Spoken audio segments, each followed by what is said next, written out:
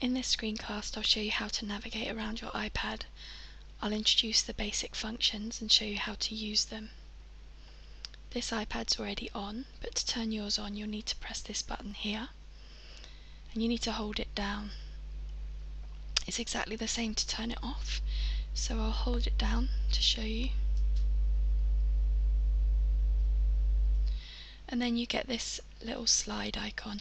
You can just put your finger on that and push across to the right and that'll turn it off. I don't actually want to turn off at the moment, so I'm going to press on the cancel button. And probably the most important button on the whole thing is this home button at the bottom. If you press that, it's always going to bring you back to this page. And I'll show you that by navigating away to something else.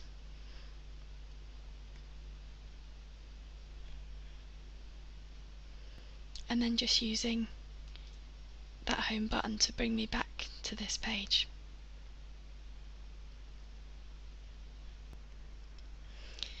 You've probably realised by now that the iPad is a touchscreen device, so you can press on things to open them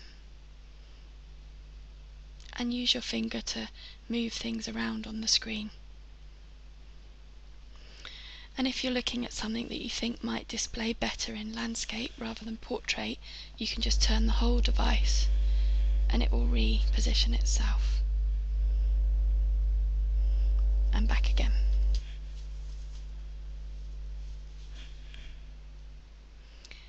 And again, I'll use the home button to take me back to that, that front page.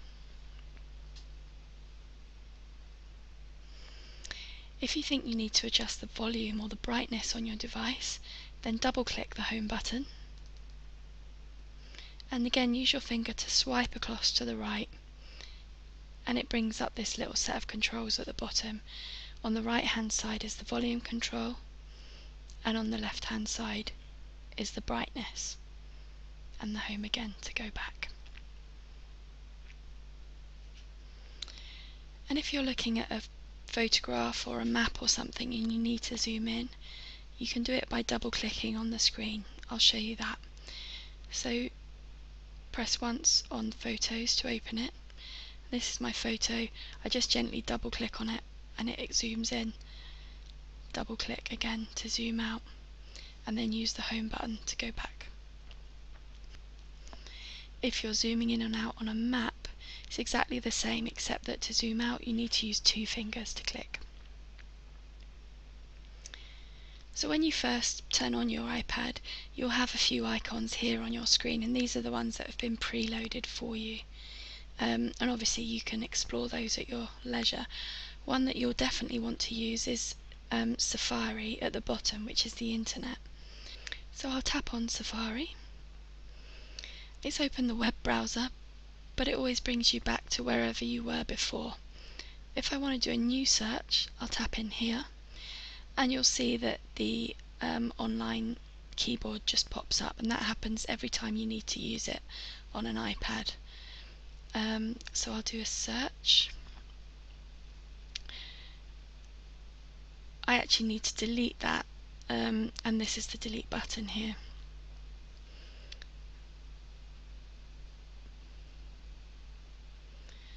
And then use the search button and it's it's brought you up the new page and you can just tap on it to open.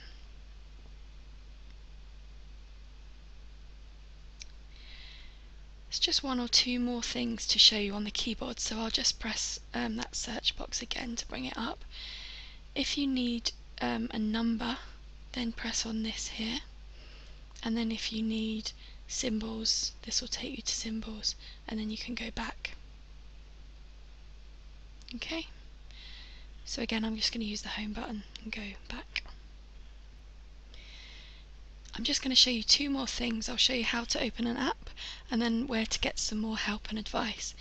Um, so I'm going to show you how to open iTunes U because that's an app that you'll probably use.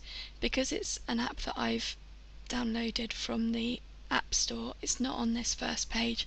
So again I use my finger, pull it across to the left and it shows um, the sort of apps that I've downloaded myself click on iTunes U and you're in there.